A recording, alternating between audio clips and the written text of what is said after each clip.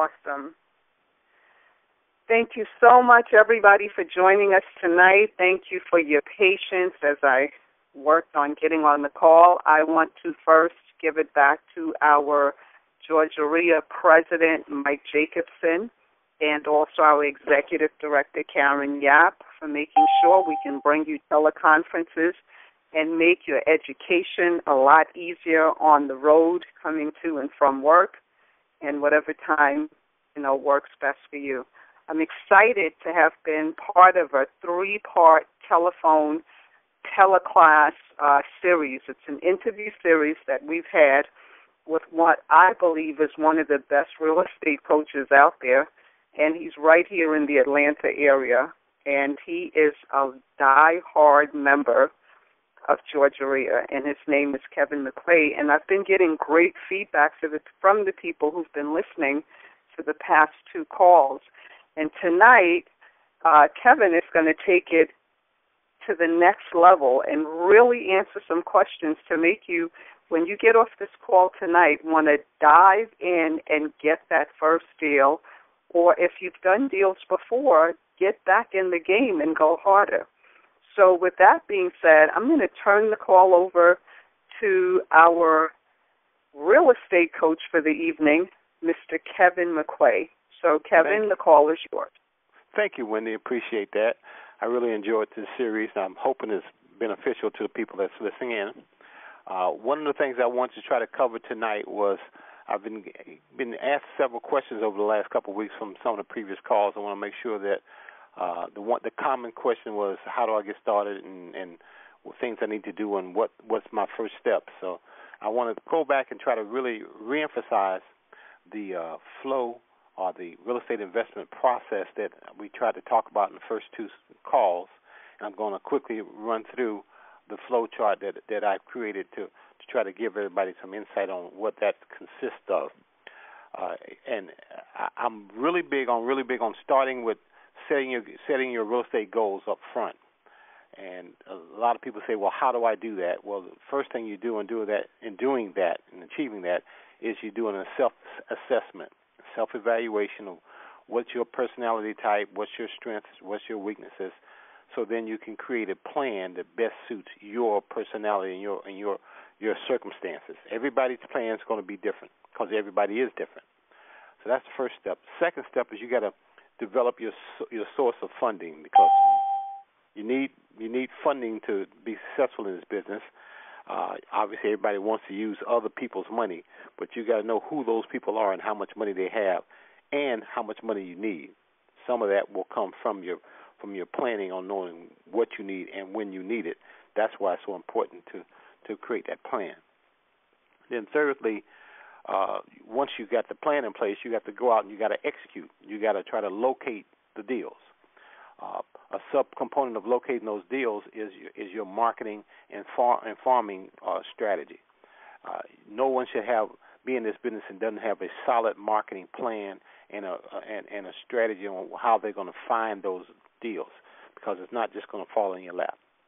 Uh, and then once you find those deals, you got to be able to evaluate them and, and and understand how you expect them once you and and finding that deal, the next the fourth thing is you're going to have to be good at in negotiating or find somebody that can negotiate those deals with the with the with the seller. Uh, those face-to-face negotiations are, are are tough for some people and they're easy for some people depending on your personality. That's why you do that self-assessment up front to decide what what pieces of this plan you're good at and that you're going to execute, and what pieces of this plan you're going to have to either partner up with somebody or or, or hire somebody to do for you. But you're going to have to negotiate uh, with those sellers to acquire the, the deals and acquire financing for that matter. And then you're going to have to close that deal. Once you close that deal, now you're sitting on this this deal. You got to understand how to fix it up or to rehab it because whatever you buy is going to need some kind of work, and you have to decide, you know, who's going to do that work, how you're going to get it done, and some timelines on how long it's going to take you and how much it's going to cost you. So that's really really critical in that in this process. And and then once you do that, you have to you have to to sell it or buy it, depending if you want to keep it or sell it. You have to have a strategy to put in place before you buy on what you're going to do with everything you you you you purchase. So uh, then once you get to that, that's the end of the process. You start it all over again, and you just keep rolling over and over and over again.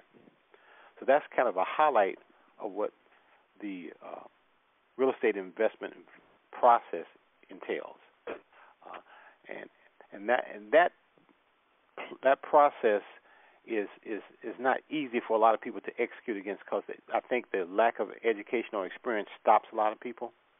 Uh, it leads to procrastination on a lot of people's part, and there's lots of reasonings why people procrastinate.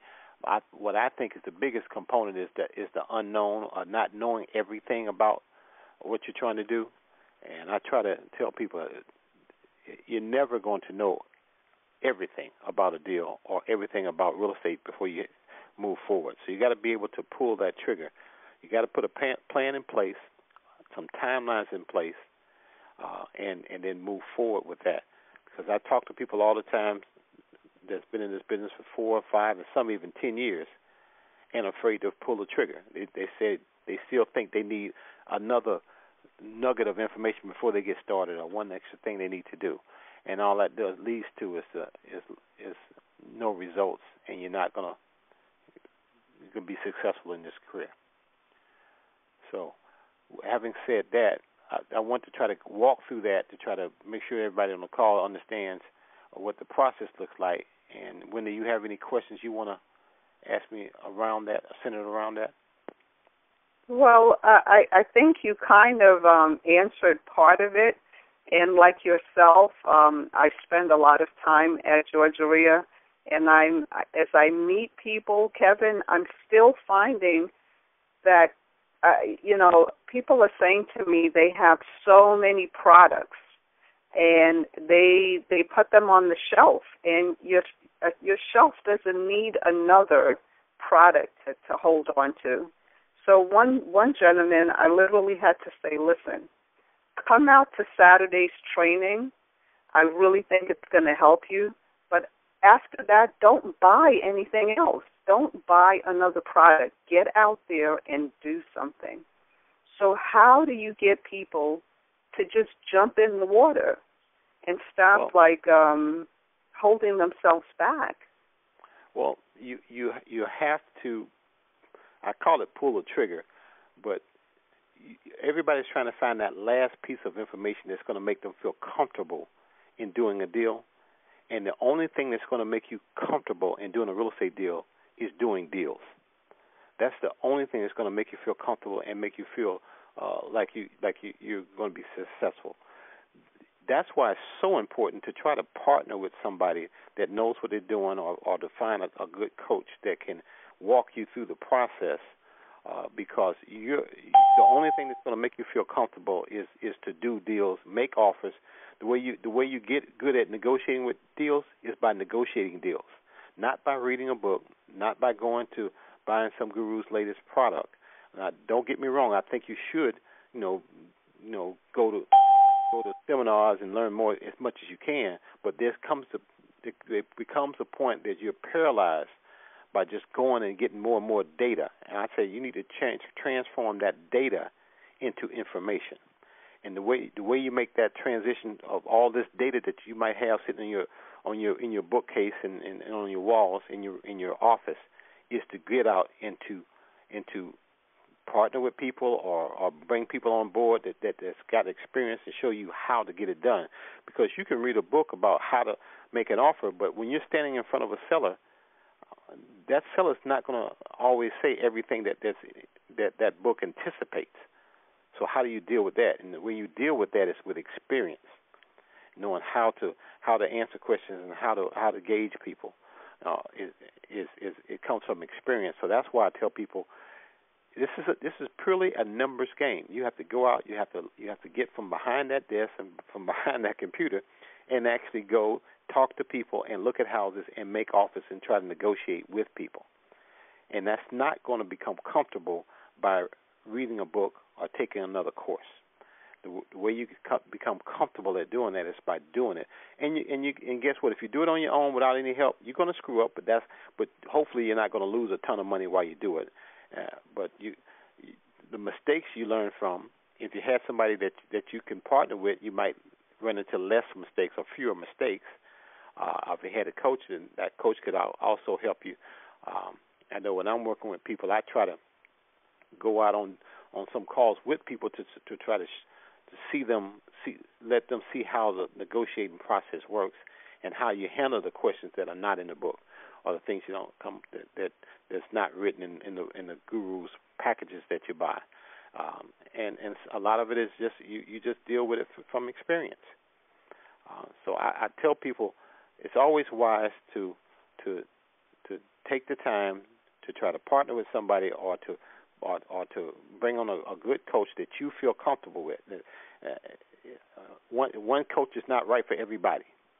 Uh, you you you got to feel comfortable with with with that that mentor or that coach, and if it fits, fits your personality, fits your your your your your your your, your style, then then you run with it. So that's what I would tell people uh, in answer to your question, Wendy. And I would like to take it even one step further because the thing that I find uh, uh, it, on the marketing side of coaching, I know you're the real estate side of coaching. I find that sometimes people really believe what they're doing is correct. Uh, so I'd like to give an example. Like I'll have people say to me, "I want to attract more sellers." But when I look at their marketing, everything they're putting out is to attract buyers. So just shifting that one little thing, and I think as a real estate coach, you and and you know coaches are are are able to look at what a person's doing and say, well, if you continue in this direction, you're not going to get the results you say you want. Is, is that true? Because sometimes yeah. people really believe that you know they're they're attracting they're going to you know all they need to do is a bunch of yellow letters and sooner or later somebody's going to um say they want to work with them. Well, I, but they also, may need to focus on something else. Yeah, and and and, and for, on the real estate side, and trying to recognize a deal is just it's also not always intuitive on, on, on seeing a deal. I've seen people. I, I look at some houses and I see money. Some other people look at that house and they see problems, and and what they don't understand, the problems are what what leads you to the money. If a, pro- a house doesn't have problems, then you don't have an opportunity to get it cheap and to fix the problem and then and then and then make money off of it. That's how I look at at, at, at real estate. But to the untrained eye, it, it's different because there are some very very sharp individuals that decide to become real estate investors, and because they're very intelligent in their chosen field before real estate, they believe they can take a course or read a book and go off and be successful in real estate, and and and that's that's unfortunate uh, because in real in real estate there are no there are no certifications to become a real estate investor. You anybody that that wants to become a real estate investor can just say hang a shingle out and say now I'm a real estate investor because the, the government doesn't protect you. There's no guidelines to protect you from making mistakes. Unlike some other professions, like if you can't be a, a lawyer and go and, and and go practice law without having a law degree, or you can't be a doctor and, and practice medicine without having a, a medical degree. But in real estate, you don't have those kind of safeguards. Anybody that wants to become a real estate investor can, and they can, they can decide to be one. And that's unfortunate because we have some very intelligent people that get into real estate and don't and and, think and think they can just read a book or go to a course and figure out how to be a real estate investor. But it's it's much more to it than that to that, and it's and it's hard to to to explain to people how to see that. Now I've even had this people that come to me and say, "Well, I've got this mentor in New York or California that's helping me do this." The problem with that is that when you walk into a a, a, a, a potential opportunity or deal, you're looking at it through your eyes. And if your eyes didn't have the experience to to recognize the deal, whatever you relate back to your to person that's not in the same room with you, it's going to be it's going to be filtered through the eyes that you brought to the table, not through their eyes if you had experience walking in there, they could help you recognize what you should be t- paying attention to and what you shouldn't. What parts are important, what's not important, uh, in the issues that, that in in the, in those in that property. So and all that comes from experience. So that's one of the I things I love most about being at Deal Makers, which is um, especially uh, you know when I when I see you overseeing the class, I really love the fact that you uh, literally will take a, a, a um, allow you know the the members to bring their deals in and and to put them on the on the bulletin on the board and share exactly what they've done, what they think they can do, and you literally break down the numbers and show yeah. them what it's really going to cost them because sometimes they really think, you know, I can make fifty thousand on this deal, and you show them, no, not with the rehab that you're going to have in this area, and did you check this out, and did you look at that? So I think that is awesome. You can't do that when you have a coach that's not right there with you. And, and also, I think that's one of the, the powerful things about uh, the the sessions that we do at 10 o'clock on Wednesday mornings at the Georgia REIA office, and and all members are welcome uh, to come to that. Uh, it gives you an opportunity to not just bring bring uh, your deals because we do share deals, but to bring your situations uh, that you that you're facing in your in in in your properties and we and we debug and and, and we and we try to figure out solutions to whatever problem you may have. You could have tenant problems. You could have you could have uh, uh, uh, hardware problems. You could have appliance problems. You could have situations that you just want to bounce off of the group. You got some of the greatest, I think, greatest real estate minds in this in the city there, because you got hundreds of years of experience when you total up all the people in that room, trying to help debug your particular problem uh, and situation that comes up. We talk about all kinds of things uh, in in, the, in that meeting. I think it'll be worthwhile to anybody to to try to carve some to carve some time in their schedule to see if they can make those those meetings because we have anywhere from 20 to 40 people a, a week, from 10 to 12, talking about real estate and, and real estate activities. And I try to bring speakers in from time to time. We uh, to, that that focus on issues that are concerned of real estate investors. So I think it'll be a great opportunity for people to come there and and and and bounce ideas off of even and to network. And that's another big component of all of those subgroup meetings. You want to try to sit next to people and network and tell them what you're doing, find out what they're doing, and who knows, you might might find somebody that can help you get to the next level. And the amazing thing about coming to the headquarters I really believe that Georgia REIA and and you know Karen Yaap, our executive director, the president, the board of directors, and and the the the, the uh, people like yourself who are overseeing the leaders of all these uh, subgroups, we really have a pulse in what's going on in real estate and investing.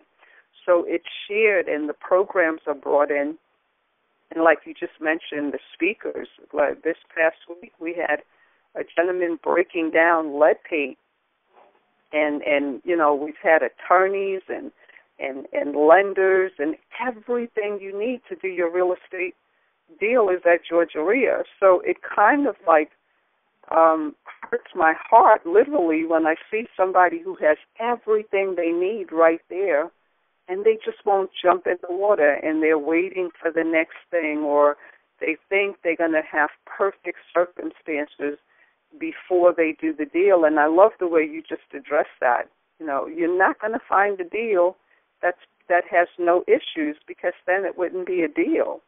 Yeah. And and I think they're literally looking for that. Well, and then we so, also get these. The time to time we get people that that's looking for that perfect opportunity, and and it's, there are no perfect opportunities out there. Everything gonna have this drama that you'll have to deal with, and you have to work through.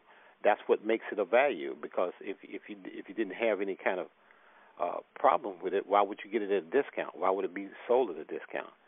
Uh, so you got to be careful there. I agree. With, and and and there is no one size fits all. So you're never going to know all the answers and have all of the the the, the a perfect situation when you're moving into a deal. You're going to have to do some real time thinking. Everybody wants to rain without the thunder and lightning, and it not and it just doesn't doesn't doesn't work that way. Well, you've heard the saying: everybody wants to go to heaven, but nobody wants to die, right?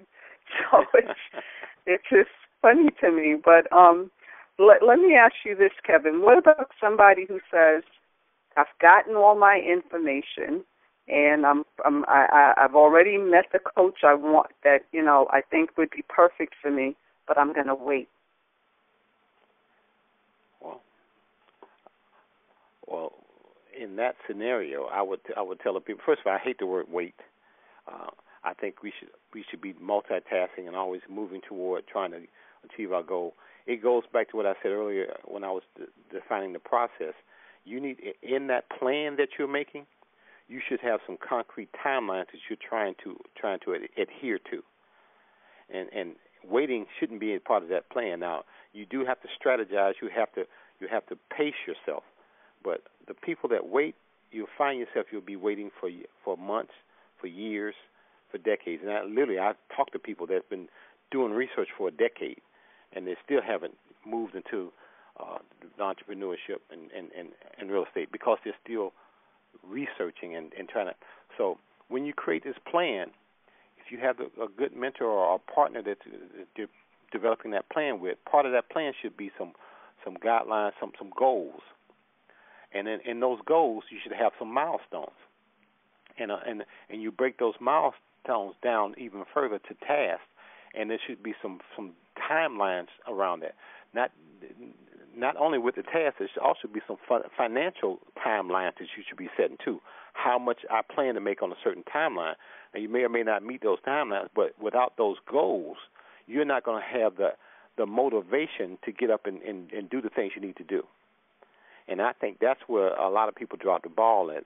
They said, "I'm gonna, I'm gonna, I'm gonna wait till the time is right." Well, what's what's your timeline? What kind of timeline are you working against?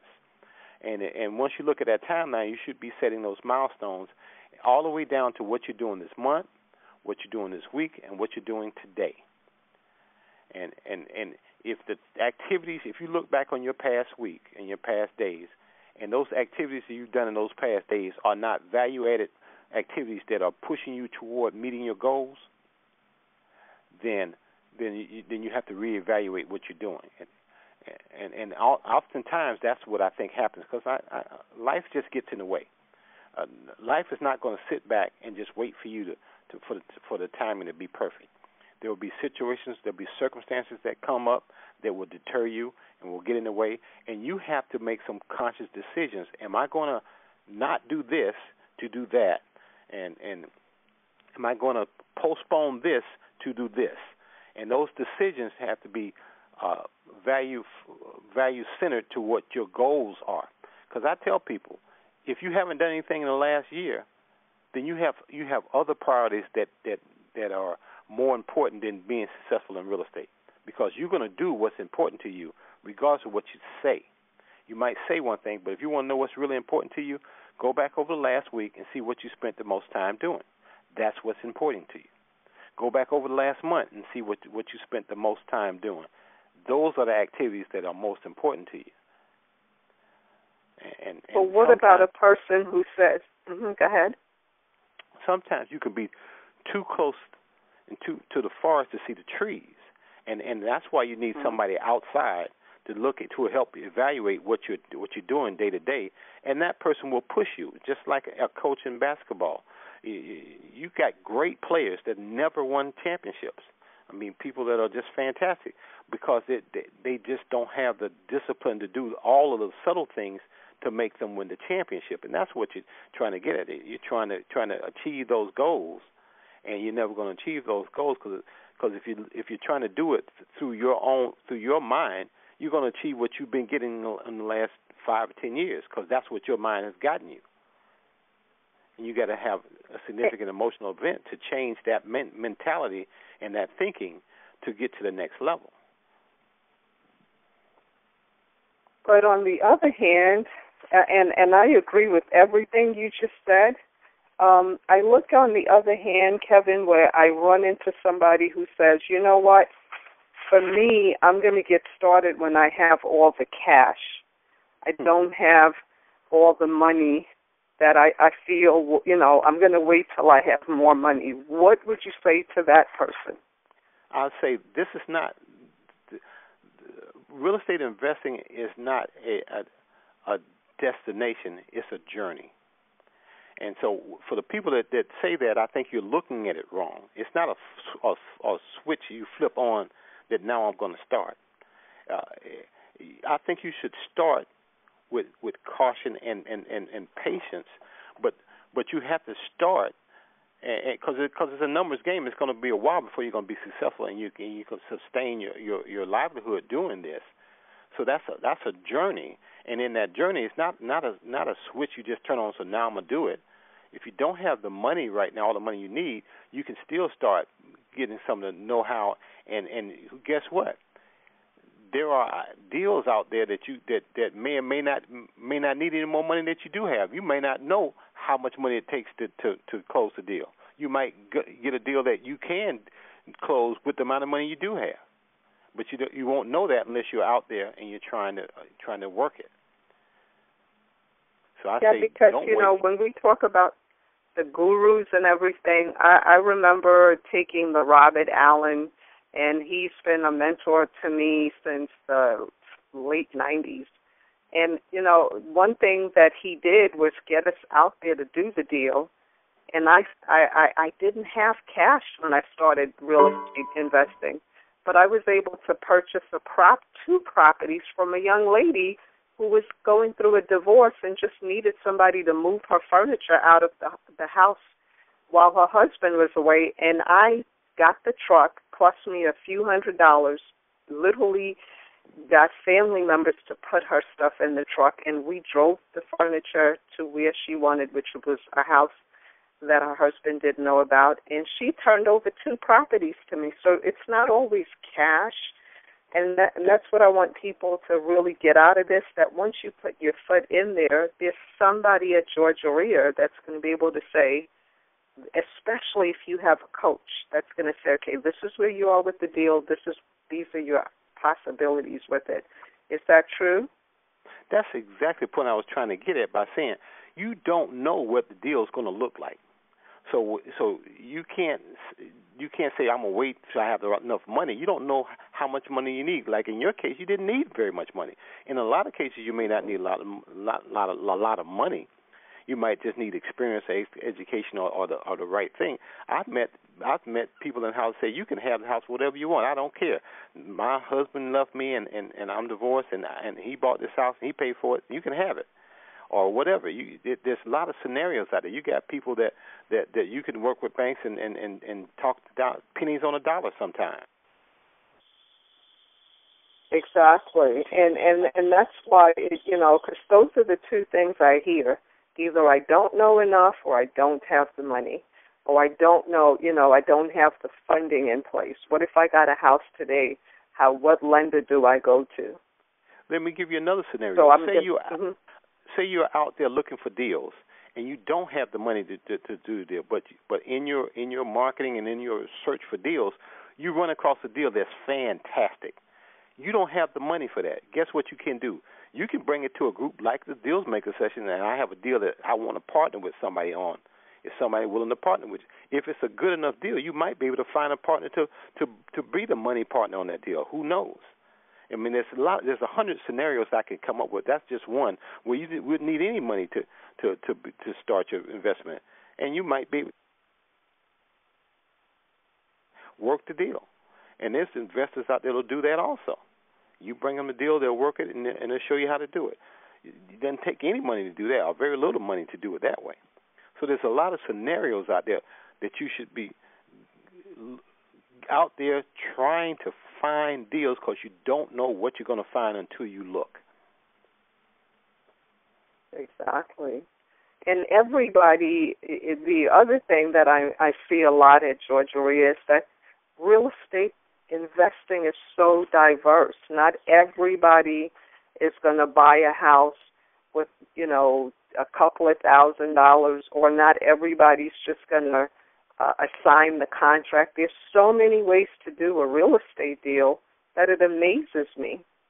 And you so and- I really believe in coaching. I, I don't believe I would have had any success in any of the industries I've been in had I not found a coach in that industry and invested. I, I look at again Robert Allen. I invested a few thousand dollars with him, but I made that a hundred times over since then. And you know, I'm sure you didn't just become uh, knowledgeable at what oh, no. you know now. Oh no, I, you, I, you I, took I, some training. I, I took a lot of the old-fashioned training, the, the back in the day when there was no money down training and things of that nature. Uh, all you name it, I probably bought it and sit on the shelf somewhere. Um, but I, I, you know, you, I didn't learn as much from them as I learned from from trying to actually working the deal, getting a deal in front of me, and figuring out when some of the deals I partnered with people on, some of them I did. But that's when you learn the most is by getting that deal and trying to work it and trying to trying to turn it into uh, uh some some income for you. That's when you that's when you you know you you you uh you really the rubber meets the road then and and you're committed. You know, it's not just a a casual conversation. It's it's not like the chicken and the egg. It's more like that pig and the bacon. You you, you when you get some skin in the game and you got that deal sitting on the table and you got to figure out how to make this thing profitable for you. There is no substitute to that. And and I think you're going to learn a, a whole lot more than any book or any course that you can read. Um, uh, bring the coursework with you, bring the paperwork, documentation with you, and see if it applies to some parts of it. But I'm telling you, not there's no substitute for having that deal and learning from that deal. And, and trust me, that'll be uh, something you won't forget. You can read those books, and the next day you might forget half of what you read. You know, you only you only retain a, a, a third of what you read usually. Uh, but when you when you live something and you lost some money or you made some money doing something, that sticks with you. Uh, so, are you seeing somebody actually work a deal? I think that sticks sticks with you a lot longer than somebody just trying to tell you how to do it, and then hopefully you can find something that fits that scenario. Well, I'd like to ask you something before we open the calls, and um, I noticed there's another gentleman who has the same kind of energy and success. He's he's uh, you know real estate investing, and come to find you and he know each other, and you're good friends. Uh, Thomas Coleman. I would like to know what it is what is it about Georgia REIA that you have found helpful to you? Because I see so many people coming and having major success at Georgia REIA. So I'd like to know what you know besides the the, the trainings, um, what is it that that is creating the success stories there that that's being created? Well, I think one of the strongest things that Georgia REIA offers investors is networking. I I I I've, I've met some of the smartest people, some of the most knowledgeable people about real estate at Georgia REIA, and it has it has benefited my business. That's why that's that's why I, I, take the time to volunteer with the deal maker session every every week because I like to try, try to give back to to people also because I've I've gained a whole lot more than what it cost me for the membership at Georgia REIA, and just just in, in, in networking with people, and then and then the information you pick up by meeting with people and, and talking and, and, and discussing with people that's doing the same thing you're doing. It's like it's like a convention of, of real estate people meeting every week. I mean, there's nothing you, you can you can substitute that with. You, you have your finger on the pulse of the of the of the market when you're meeting with people doing the same thing you're doing every day. Uh, if you do that every week, and, and, and everybody's experienced something different, and that and, and that goes back to the networking. You learn from other people's experiences also by by sitting down and talking with them every week. That's why I make it a point to try to make every one of my my meetings in, on Wednesday mornings, and I would encourage people to to find something that that that you enjoy doing, a, a group that you enjoy, and and and make that a a, a, a routine meeting on your in your schedule uh, and I think it'll become invaluable because it, it, that's when I started out buying on the courthouse steps. It was because a guy did a presentation in in the deal makers about court, uh, courthouse steps for dummies, and I said, I think I could I could do that, and and I bought lots of houses on the, on the steps because of that one presentation. And I still remember the guy that did the presentation. He uh, to this day, um, uh, Bo Whitney. He he um he just impressed impressed me so much. I, I that's how I got, you know, my first. I don't know how many houses on the steps, because of that presentation. So that alone was well worth the, the price of membership. Uh, and then when you also look at the other benefits, uh, uh, the benefits from our from our um, business associates and and the uh, relationships we have with vendors like Sherwin Williams and Home Depot. I mean, I just painted three houses in the last month, and and I if without the the Georgia REIA discount, I probably would have paid at least three times more in in just in paint costs. That's well worth the membership right there.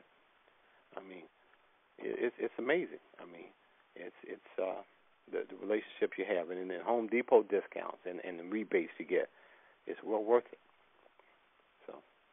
And I, I love to say you gotta love the new Georgia REIA. There's so much energy and activity going on at Georgia REIA. It amazes me. And then finding uh, people like yourself, I, I'm I'm I'm building a great uh, friendship with you, and I really appreciate that.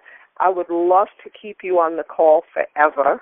I've, I've gotten so much from doing this call with you, and I'm really hoping that you are willing to revisit these calls in the near future because they've been very beneficial to our audience. But I know that there's people on the call that want to ask some questions. So before we open the call for questions, is there anything you want to share before we do that?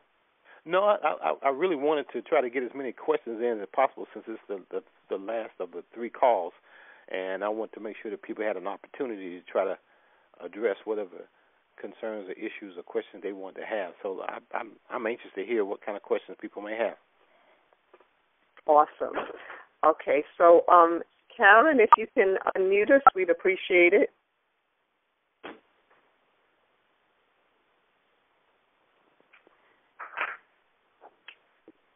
Hello. Hello. Hi. Hi, this is Cherie. Oh, how I you doing? Hi, Cherie. So Hi, excited Kevin. you were able Wendy. to make the call tonight. Hi. Yeah, I couldn't talk earlier. Um, you were asking for people to introduce yourselves, and I, I couldn't figure out how to unmute myself. Um, okay. so Well, we're don't glad you're able to ask now. It, it, do you have a question for Kevin? I do, I do. So I wanted to specifically ask Kevin, um, how much money did you start with, and what was your goal at the time, and how long did it take you to get there? Okay. Uh, well, I I started with a hundred thousand dollars, but that was because I was coming from corporate America and I wanted to buy on the courthouse steps. And um, back in the early 2000s, when I started, uh, you could easily pick up a property on the steps for forty thousand dollars, and Mhm. and I would I would pick it up for thirty or forty thousand dollars. I'd put about another fifteen or twenty into it to rehab it. And back then, you could go to the bank and you can refi and do a cash out. So the first Oh, ten or fifteen okay. houses I bought, I I did that strategy with. I just I just went uh, bought the house with my own money, rehabbed it with my own money, went to the bank and refied it because, like I said back then, it was it, a cash out refi was not uncommon, and a stated Mhm. income no doc refi was not uncommon also. And, and I I don't know if I'm I'm hoping I'm not talking over too many people some people's heads, but you could have you could have gone to the bank, bought a house for thirty thousand dollars, rehabbed it. As long as you documented what you did and had proof that you improved it, you could justify that house going from forty thousand dollars to a hundred and fifty or hundred and sixty thousand dollars, and then you can do a cash out refi. In other words, you can go to the bank and say, Mhm. "I want to borrow more than what I put into this house." And and there was something called a cash out refund. They would just give you the everything above what you Mhm. put in that house, and it Mhm. it was beautiful. It was a wonderful thing. I I I also believe everything in this business is cyclical. Eventually, those kind of loans will come back. They're a little bit scarce now, but uh, and Mhm. no doc loans and stated income loans are kind of scarce now. But I think eventually everything is going to come back once the market gets back on its feet again. But that's what I, that's how I started out buying on the courthouse steps uh, and uh, with just a little funds. Uh, Uh-huh. and another thing about the courthouse steps is a little bit different than the way a lot of people are investing in in real estate now. In Georgia, uh, in case you have somebody not in Georgia, uh, Georgia is a state when when when you buy on the courthouse steps, you can't go and win a win a win a bid and then go get a loan. you have to sit you have to pay cash right there on the spot. Mm-hmm. So you have mm-hmm. you have to you have to bring the money right there. So if you're going to pay thirty or forty thousand dollars or fifty thousand dollars for a house, you got to. Uh-huh. They stop they stop bidding, hold their hand out, say give me the money, and then they give you a a, a, a slip of paper and you get a deed uh, in lieu. Uh, uh, deed under power, I, I guess is what it's called. Uh, but that's how that's how.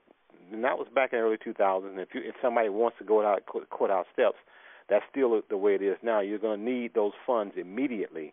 You can't you mm-hmm. can't turn around and get a loan. Or you can get a loan later, but to get the purchase on the steps in Georgia, you need to have those funds right there uh, mm-hmm. on the spot. Okay. Thank you. Did that answer your question, Sherry? It does. Thank you. I just wanted to get a picture. Awesome. Thank you again for making the call tonight. I appreciate it. Thank you for the calls. This is wonderful. I'm learning awesome. a lot. Thank you.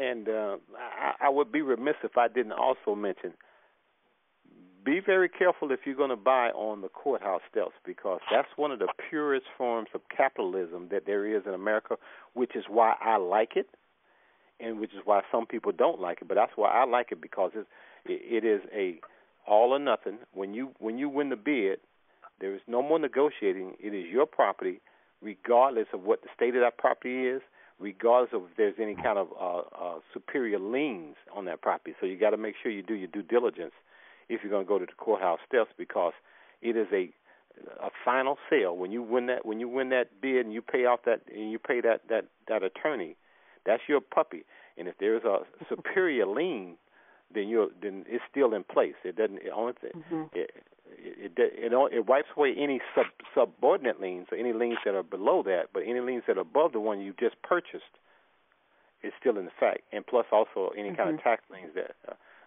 they're still in, in in front of you, what you bought too. So just be be careful if you're going to do go to the courthouse steps that you do your due diligence, and you and you make sure you what you're bidding on is what you mm-hmm. want. Okay.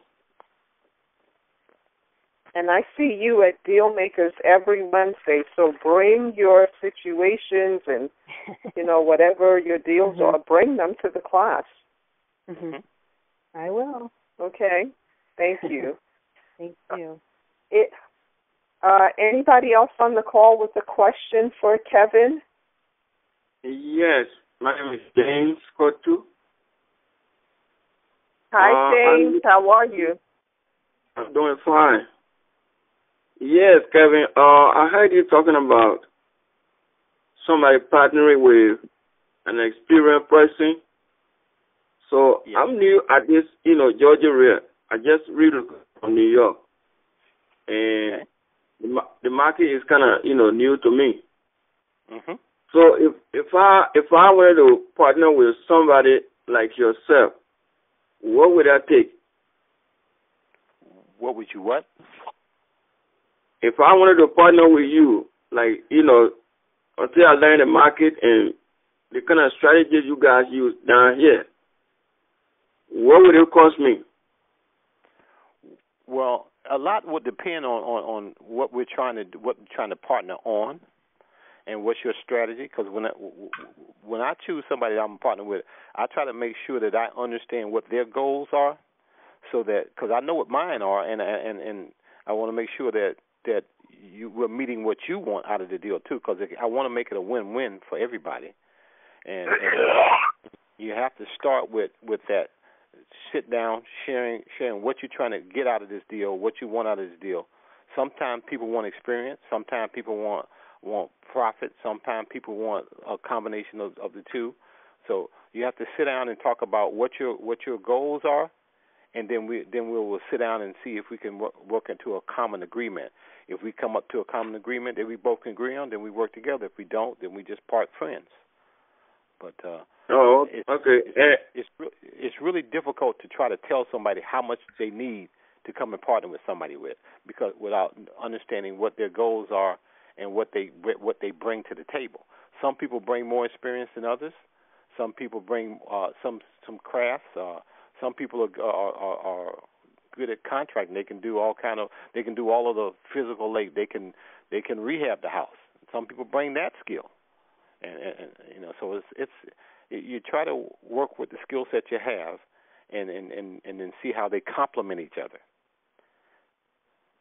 Oh, okay. The area that I'm comfortable with in doing real estate deals, I'm more like you know trying to do lease option deals. Okay. It, okay. It could be a lease option flip. It could be a sandwich lease. I am more comfortable with that.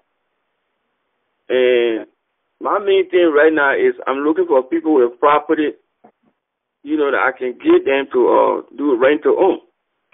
Because I have a lot of tenant buyers that are pre-screened, who I know got cash and everything, got stable employment, but they just need some time, you know, to work on their credit, which will also put them in credit repair. Mhm. So that's yep, the kind of that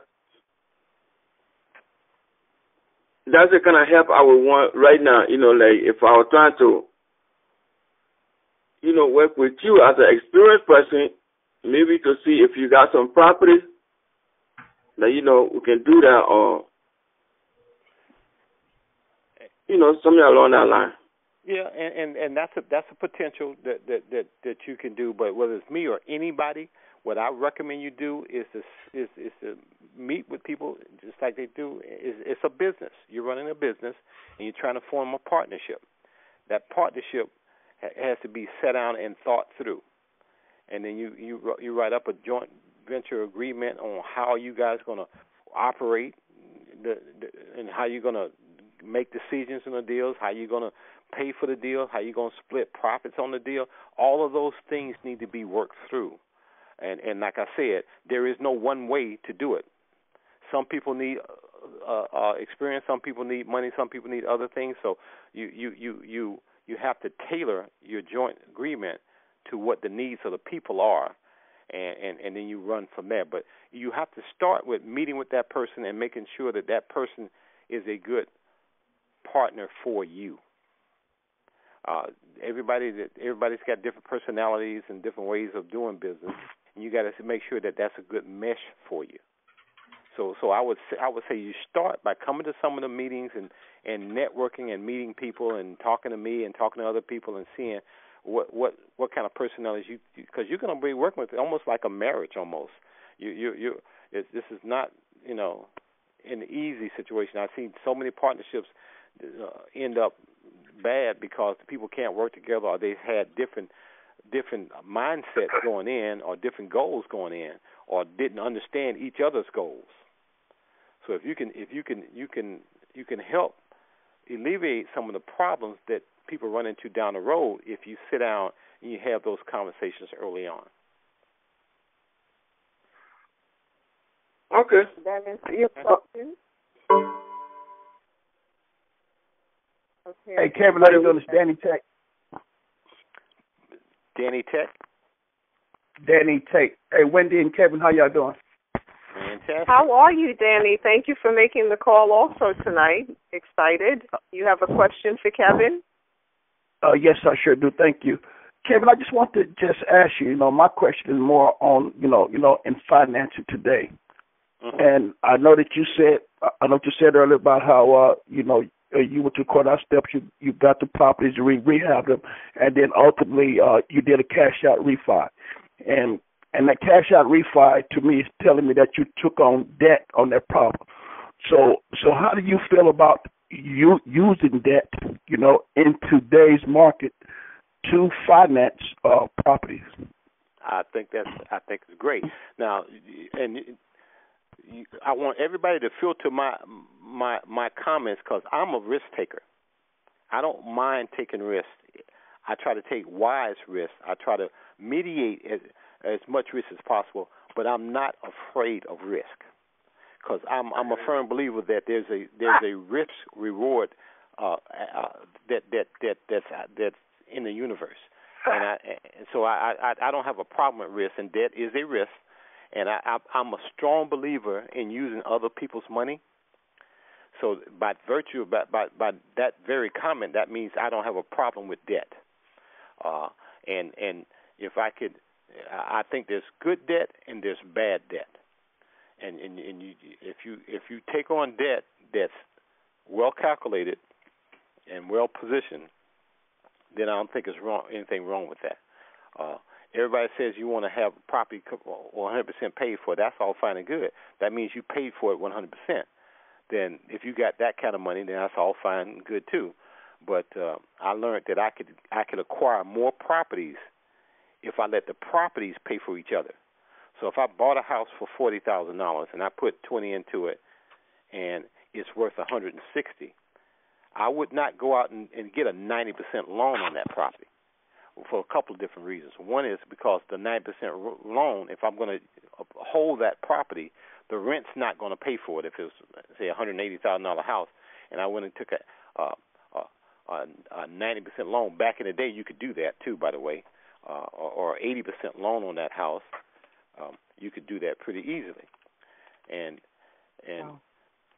And, and and so if you borrowed 140, 150 thousand dollars against that house, I wouldn't do that because one, it wouldn't pay for itself from the rent, wouldn't wouldn't be able to pay that off. Plus, that'd be too much of a debt uh, ratio for me on that one particular property.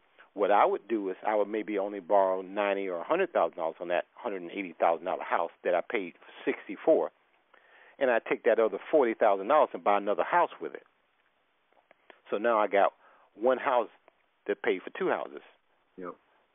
You see, so I got and and if you got another hundred eighty, two hundred thousand dollar house and you bought another hundred against it, you can buy another two more houses with that hundred thousand dollars. Now you got see how see how it sort of snowballs. right. And and that's what I call smart debt because one you you you're supposedly and I say supposedly because the market has made me a liar here recently because I wouldn't I I never wanted to pull out more than seventy percent of the appraised value of a house whenever I looked at trying to pull out money on a property. I didn't know back then that the properties were going to drop by six seventy percent. I thought the worst they would drop is thirty percent. Well, I was I, that's something I learned, but the fact that I didn't pull out very much of the equity, more than maybe 60 or 65 percent, protected me when it did drop. So that because rents did not drop with the property values. So in my buy and hold scenario, I was still protected, uh, even though I was upside down on the house. I wasn't upside down from a from an income perspective. In other words, I wasn't losing money. I was right. still making money. I could still pay the loan off, and I could still make money with the rents that I was making because I only borrowed sixty percent of the appraised value of the house. So my notes were hmm. smaller. You follow me? Right. Right. I'm listening. Go ahead. Kinda, so that's what I call smart debt.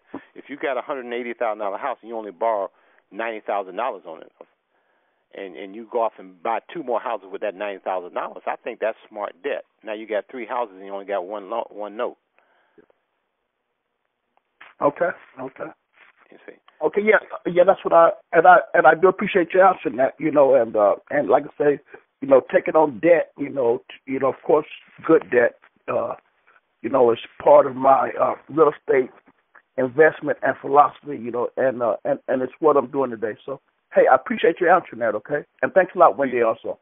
But be very careful because, like I said, even I, I got, I got, I got stuck too with with being upside down on houses because of that. Even though I thought I protected myself by by only only uh leveraging the property sixty percent, I didn't know property. I thought the worst properties values would drop with maybe ten or twenty or thirty percent at the worst. I I had no idea it would drop seventy percent. But but the only thing that saved me in that scenario is that I had a buy and hold strategy where my rents never dropped seventy percent. Matter of fact, the rents almost stayed flat. If they if they dropped at all, it was only maybe five or ten five percent. So hmm. so when the market took a serious dip, my rental income didn't take that that same dip.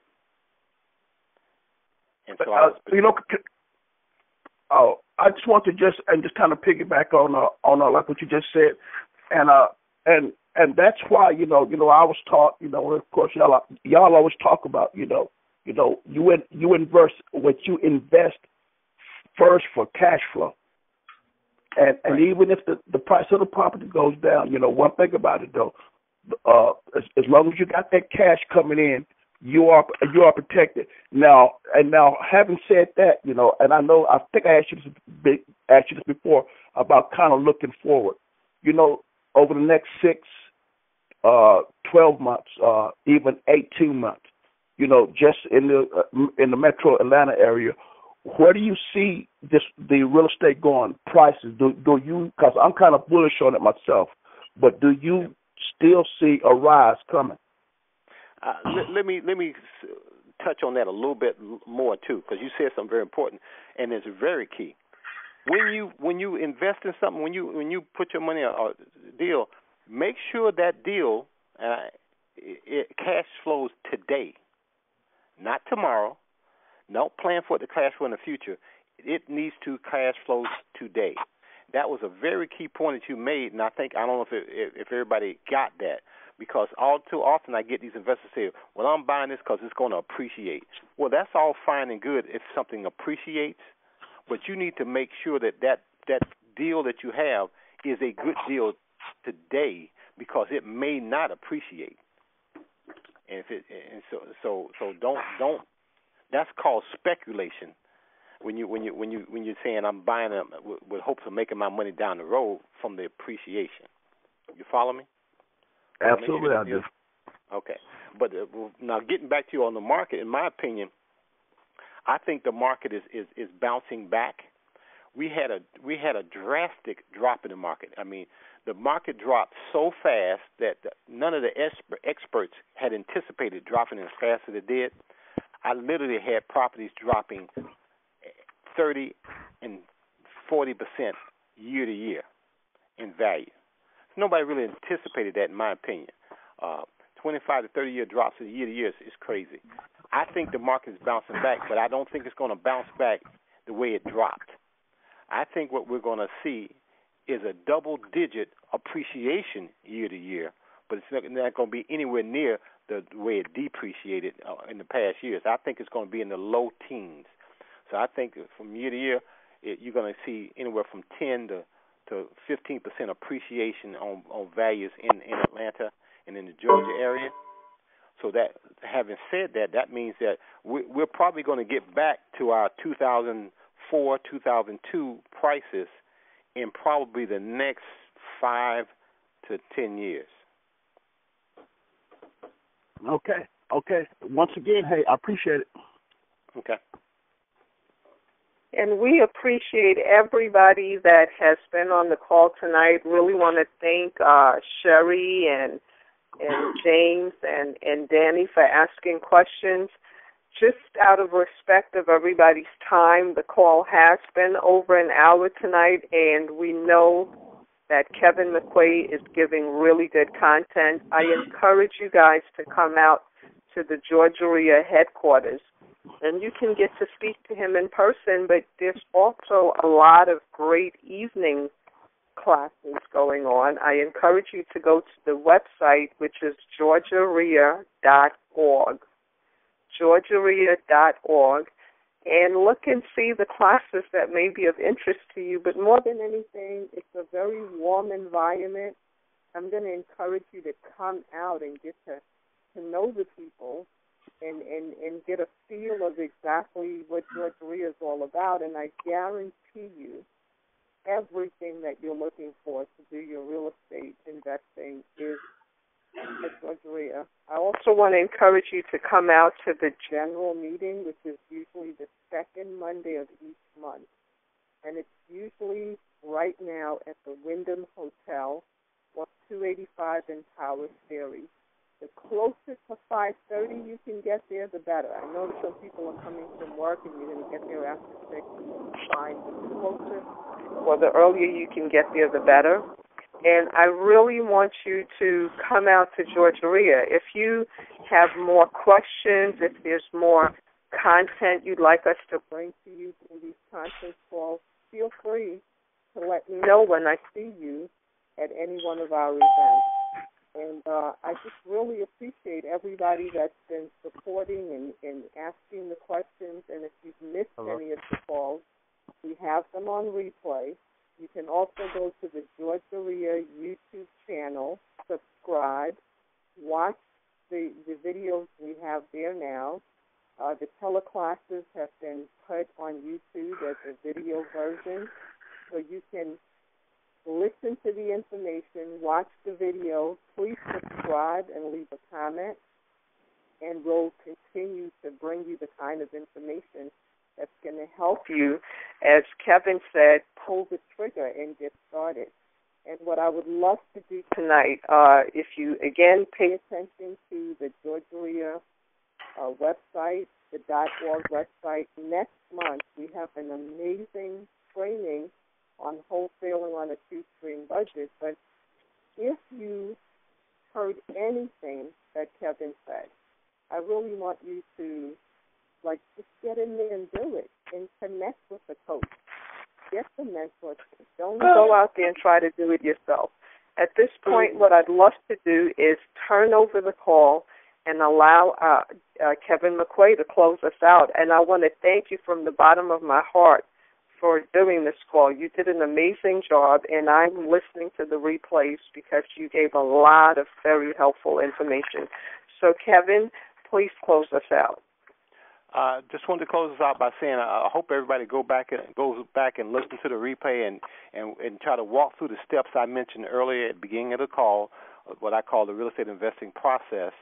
And the, the key to all of this, and I restate this again, is you, is your self self assessment, your self evaluation on what kind of person you are, what your strengths and weaknesses is are, and and and creating a plan that that that that accentuates your your positives and, and, and helps helps protect you from your from your from your uh, shortfalls. And that's that's if you don't walk away with anything, plan your work and then work your plan. Take some time, sit down and and and develop that plan. Because without that plan, then you're just dreaming and you're not you're not really having you don't have that focus that you need to be successful. And with that being said, everybody, we thank you again. Have a great evening, and we'll see you around the Georgia REIA headquarters. Talk to you soon. Thanks again, Good Kevin. Good night. Good night, everybody. Thank Bye. you. Good night.